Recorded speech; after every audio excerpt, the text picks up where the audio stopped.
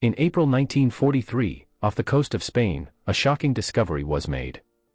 The waterlogged corpse of a British Royal Marine was found, with an attaché case chained to his wrist. The Germans colluded with pro-Nazi elements in the Spanish military to access the contents of the case.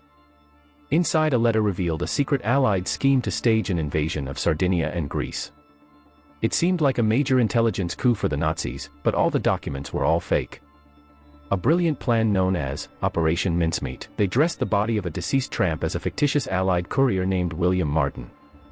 The corpse's briefcase was filled with phony military plans, then a Royal Navy submarine secretly deposited the body off the coast of Spain. The Germans intercepted what they believed to be crucial information about the Allies' next move, convinced they had outsmarted the British. Hitler diverted his tank divisions and personnel to Greece, preparing for an invasion that would never come. If you enjoyed this, hit the like and subscribe buttons.